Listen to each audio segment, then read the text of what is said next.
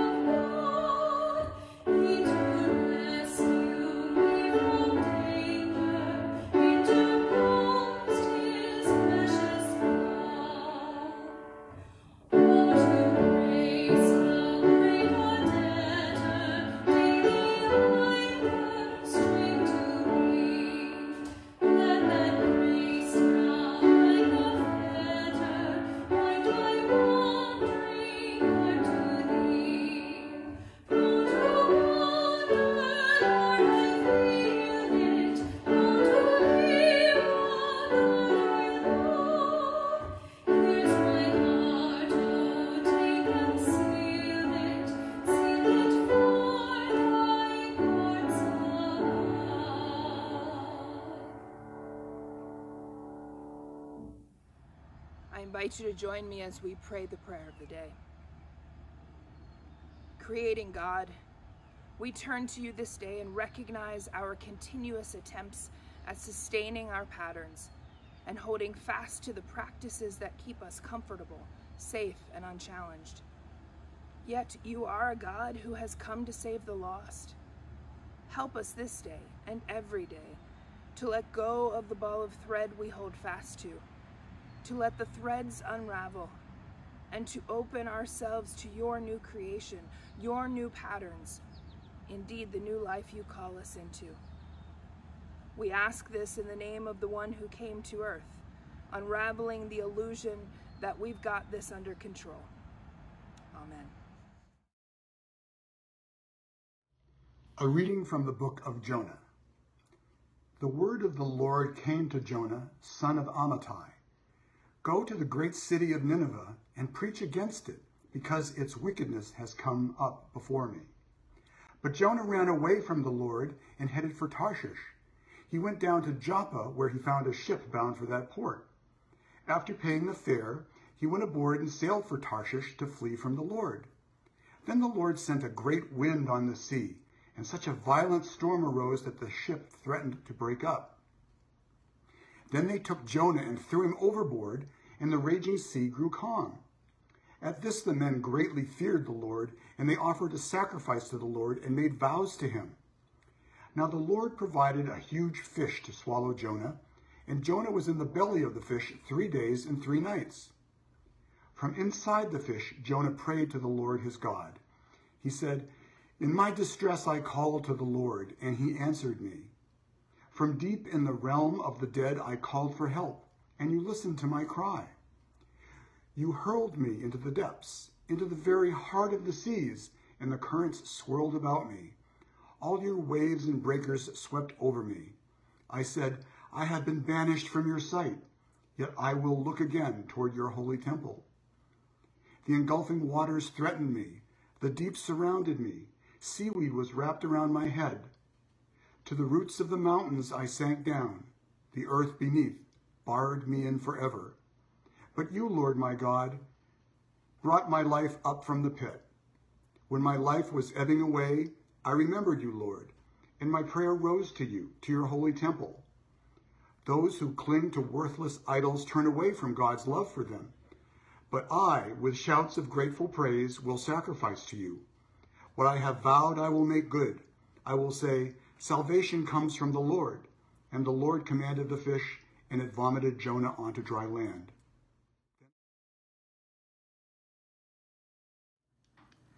A reading from the 19th chapter of Luke. Jesus entered Jericho and was passing through. A man was there by the name of Zacchaeus. He was a chief tax collector and was wealthy. He wanted to see who Jesus was, but because he was short, he could not see over the crowd. So he ran ahead and climbed a sycamore fig tree to see him, since Jesus was coming that way. When Jesus reached the spot, he looked up and said to him, Zacchaeus, come down immediately. I must stay at your house today. So he came down at once and welcomed him gladly. All the people saw this and began to mutter, He has gone to be the guest of a sinner. But Zacchaeus stood up and said to the Lord, Look, Lord, here and now I give half of my possessions to the poor. And if I have cheated anybody out of anything, I will pay back four times the amount. Jesus said to him, Today salvation has come to this house because this man too was a son of Abraham. For the Son of Man came to seek and to save the lost. Many of us had a plan. Some of us working out that plan for many years, and others are just beginning or somewhere in the middle. We have been planning and educating and working and saving and doing, hitting a bump and getting up again, and just seeking to get or keep the plan moving. We have grown accustomed to the pattern or are longing to see the pattern, to live the pattern that we see others living.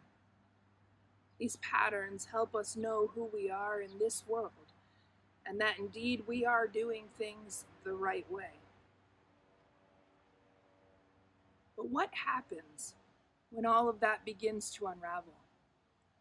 When the plan no longer works when the patterns that keep us comfortable and on solid footing unravel and the ground beneath becomes unstable. This has been my life, and in conversations I know many of your lives as well, since mid March. Although, if we've been paying attention, I think most of us could look further back and see when patterns of our lives, all neatly rolled up in a ball, begin to loosen and unroll. Think about this image for a second. When you wind a ball of yarn together, you keep it tight and you fully encircle it all the way until you get to the end of the thread. And then you have two choices to tie this end after you get it situated on the ball as tight as you can so it holds fast and will not move. Or you let the ball unroll. Loosen naturally, knowing that unraveling will lead to more raveling and rolling in the future. Especially when we place it down and end up kicking it across the room, or even worse, when we're trying so hard to keep it tightened and we drop the ball and the thread unravels. Maybe rolls across the room or down the stairs. It all unwinds.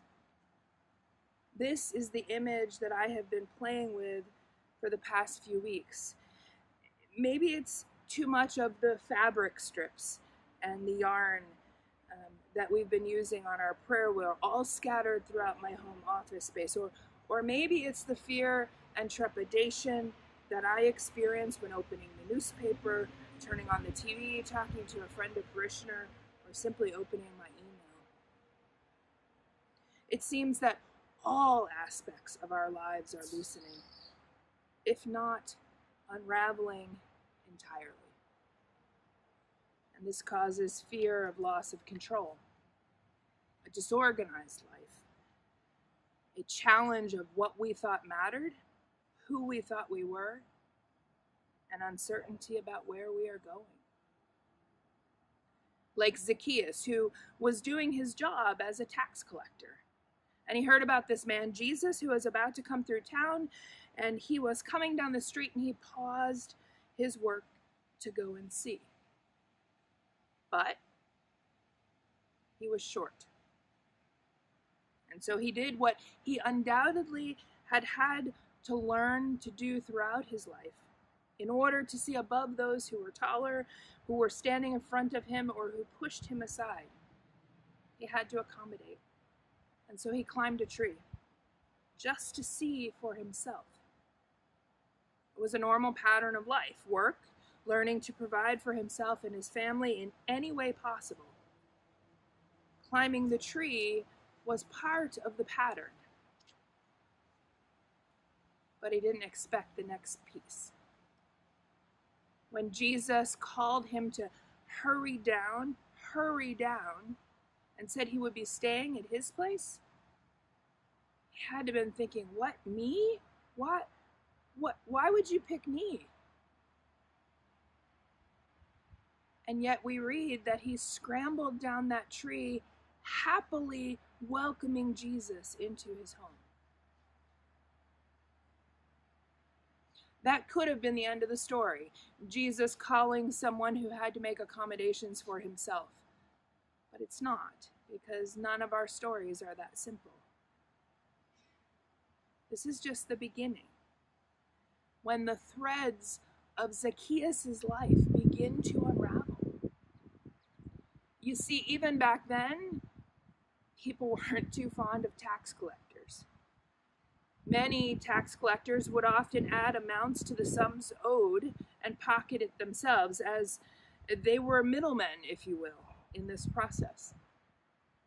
So when people saw that Jesus invited himself into this man's house, this tax collector's house, and this man welcomed him robustly, they were not too happy.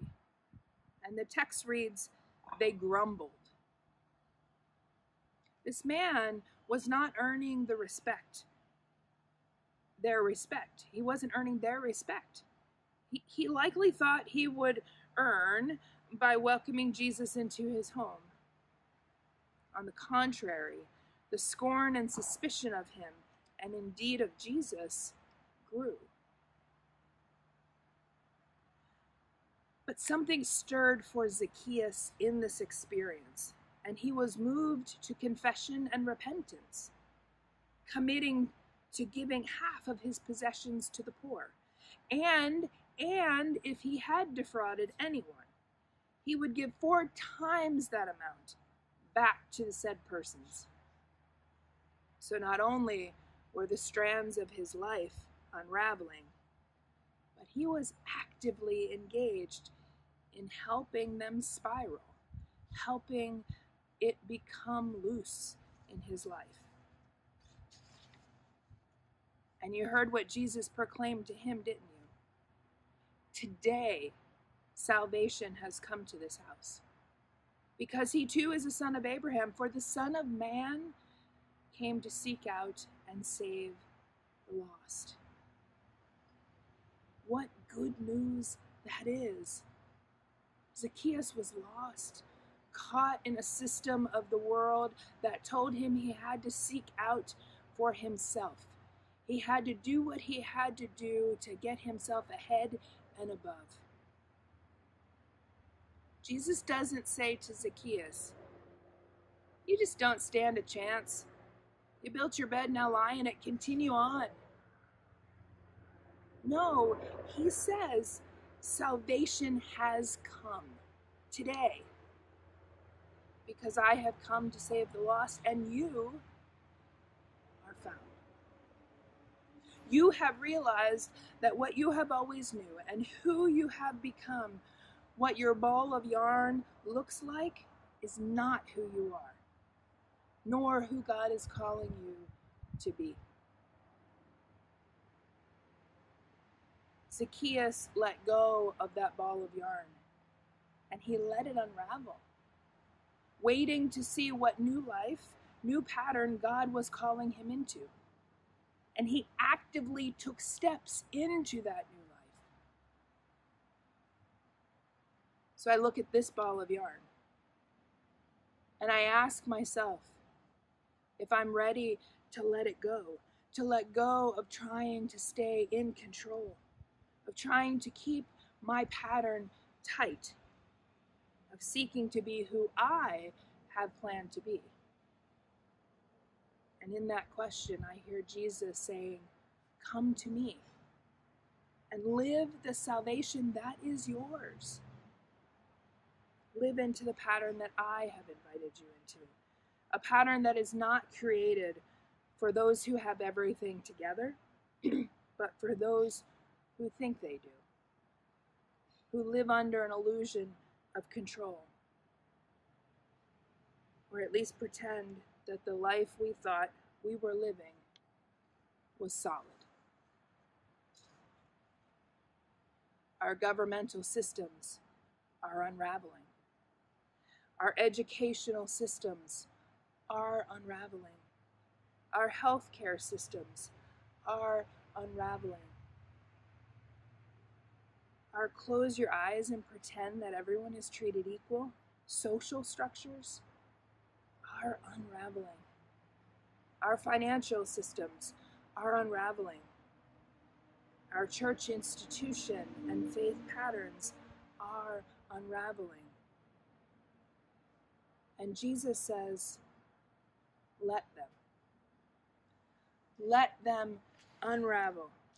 Because in that unraveling, the newness of the life that I have promised, the salvation that I come to bring into this world is coming, is here today.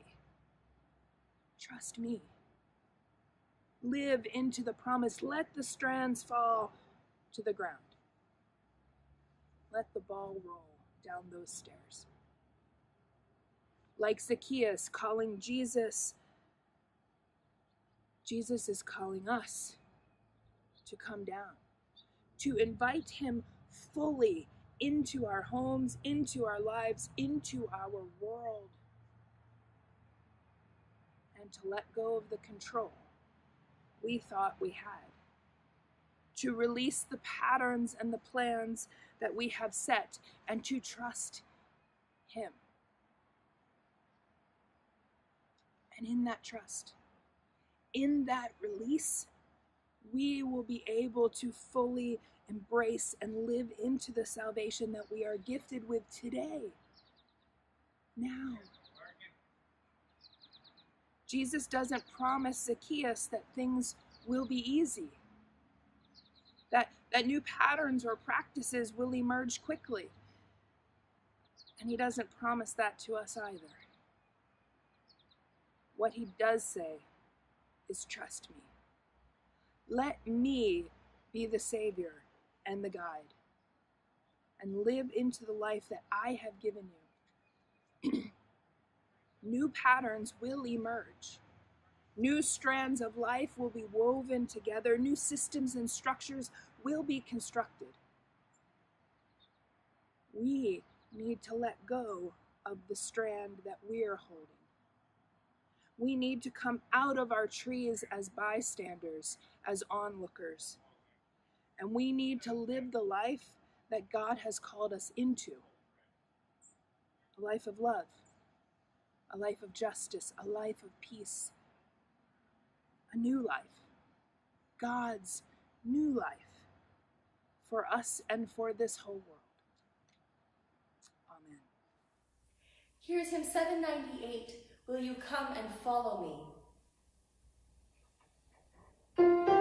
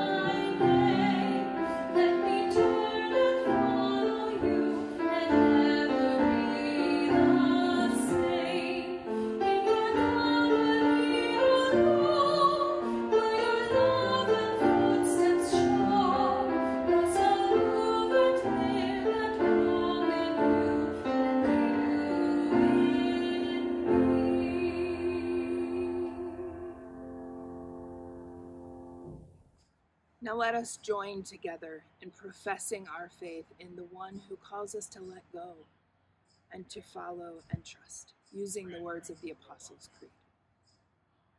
I believe in God the Father Almighty, creator of heaven and earth. I believe in Jesus Christ, God's only Son, our Lord, who was conceived by the Holy Spirit, born of the Virgin Mary, suffered under Pontius Pilate, was crucified, died, and was buried he descended to the dead. On the third day he rose again. He ascended into heaven He is seated at the right hand of the Father, and he will come to judge the living and the dead. I believe in the Holy Spirit, the holy Catholic Church, the communion of saints, the forgiveness of sins, the resurrection of the body, and the life everlasting. Amen. A word of thanks for your ongoing and continued faithfulness in giving of offering to the life and ministry uh, that we share here together at Christ the King. Uh, you're encouraged to continue uh, to send in your offerings electronically uh, by going to www.ctknashua.org backslash give. Uh, the platform that we use is safe and reliable um, and is a faithful way to give your gifts to God. if you don't feel comfortable, that's fine as well. And we invite you to send in a check made out to CTK to 3 Lutheran Drive, Nashua, New Hampshire 03063. And again, we give thanks for everyone coming together and lifting their offerings to God.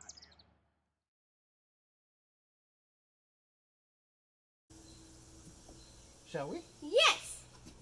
Peace be with Peace, you. peace, peace, peace, be with you. Peace be with you. Peace, Peace be, be with with you. you.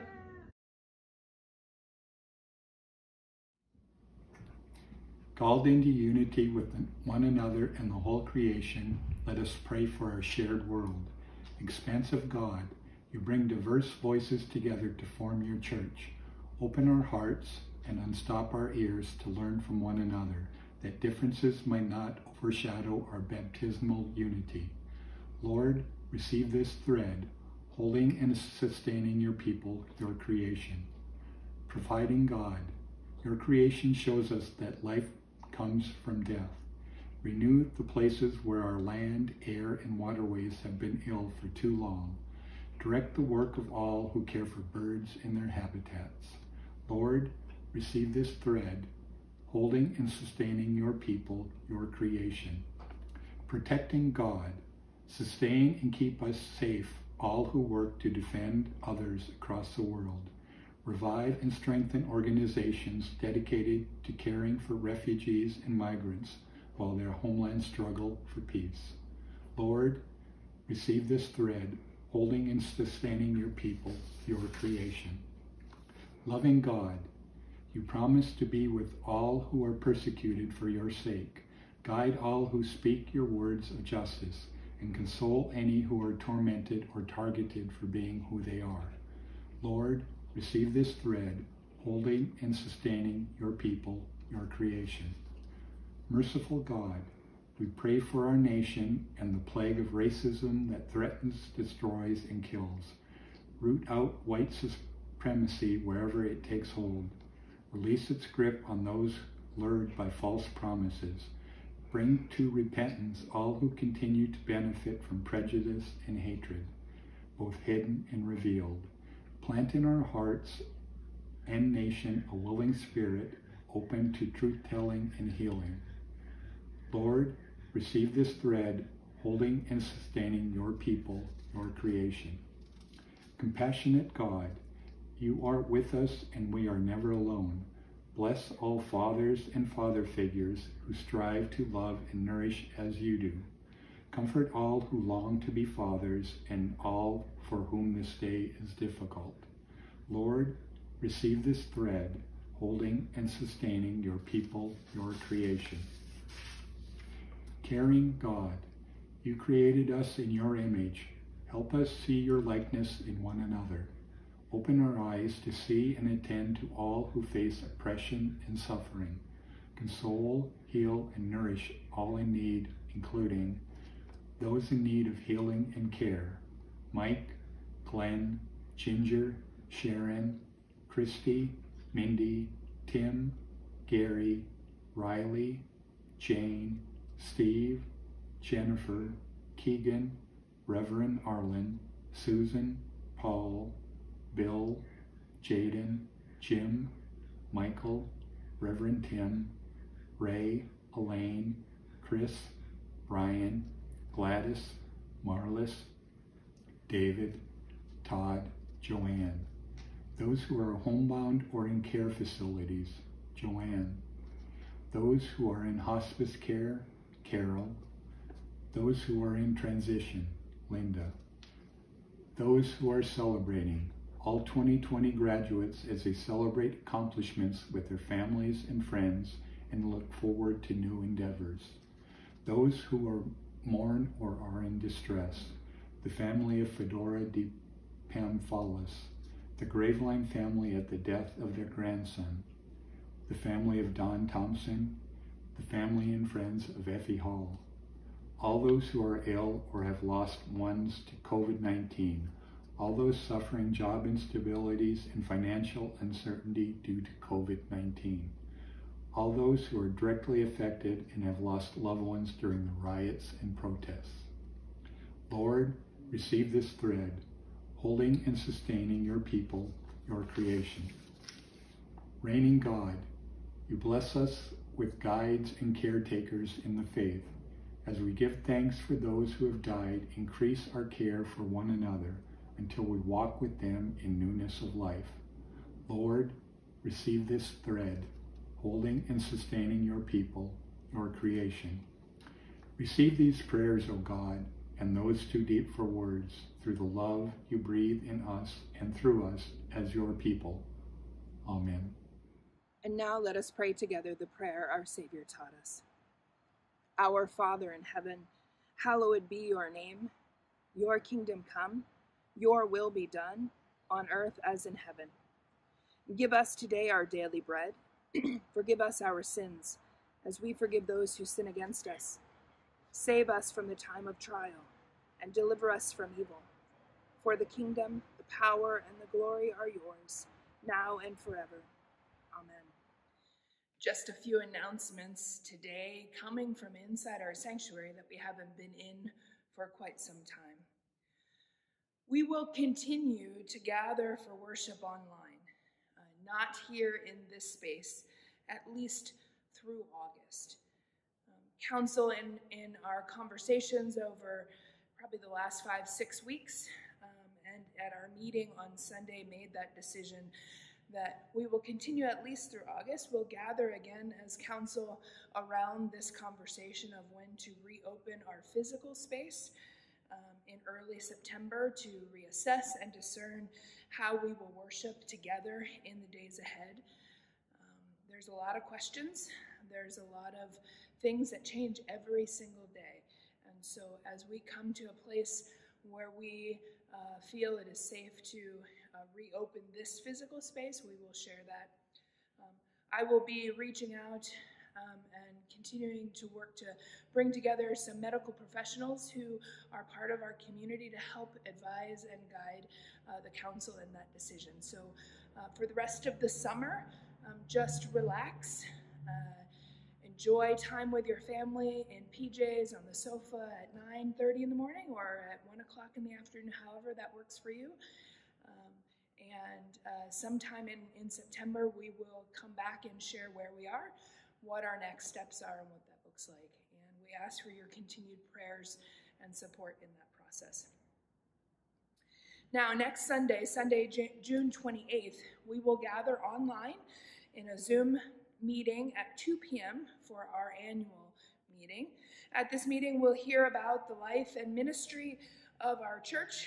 We'll elect council members, we'll elect the executive committee, um, and we'll discuss uh, repairing and selling or renting the parsonage.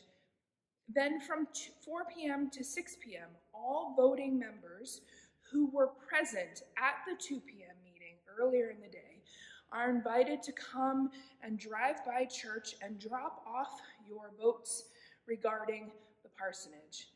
Um, there will be council members on site uh, to ensure that those who are voting or those who were present at the 2 p.m. call. Um, I will likely be there as well on the other side of the parking lot just to smile and wave and exchange a few words as you go. A letter went out uh, earlier this week uh, formally announcing the meeting per our constitutional requirement and a PDF of our annual meeting packet is being made available. It uh, went out in the e-news on Friday and was published both to our Facebook and uh, our Facebook page and our website. Um, if you have any questions, if you don't understand the, the pattern we're doing on Sunday, if you're not sure how to get on Zoom, uh, you don't need a computer to get on Zoom. You can pick up your phone. You can dial the number that is provided on the invitation, um, enter in the meeting ID and the password, and you'll be on audio only, but you'll be fully present in the meeting. Um, or you can get online and uh, do a video. Um, some people get online and don't do a video and still do audio. There are multiple ways, but it is accessible for everyone in our community to be a part of this. So if you have any questions, you're not sure how to do it, um, give me a call, um, send me an email, call Tammy, send her an email, and we will help you get there because we need you uh, to be a part of our discernment as a community as we uh, reflect on our ministry over the last year and look into um, this coming year and as we make decisions on how we do that. Finally, in light of the ongoing and rising racial tensions, we as God's people uh, are called to be a part of seeking justice for the oppressed.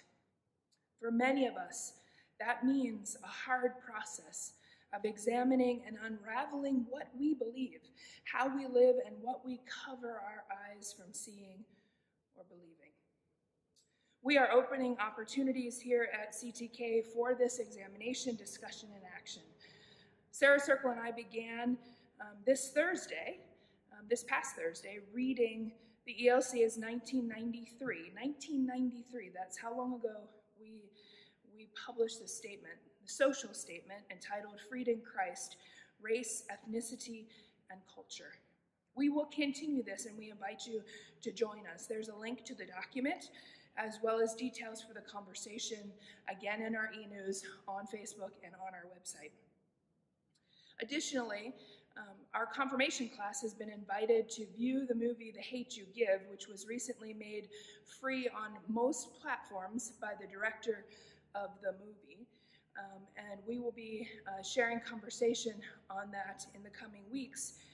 And we're inviting the congregation to be a part of that as well um, and joining us on July 1st for a discussion via Zoom. Um, details on the movie, how you can connect to that, and the discussion on July 4th and how to connect into that, as well as other resources, are again available on our website, on our Facebook, and in uh, the e-news. And there's more to come. We will update that and continue that to be growing. This conversation has been going on. Uh, it is um, increasing and it will not slow down. So we invite you to be a part of that together um, as we seek to live into who God has called us to be as God's people. Thanks.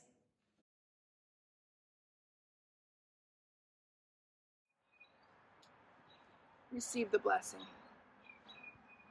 Neither death nor life nor angels, nor rulers, nor things present, nor things to come, nor powers, nor height, nor depth, nor anything else, nor anything else will be able to separate us from the love of God in Christ Jesus. God the Creator, Jesus Christ the Savior, and the Holy Spirit the Comforter bless you now and keep you in eternal life. Here is him, O God, our creator, you work every day, with text by Carolyn Winfrey Gillette.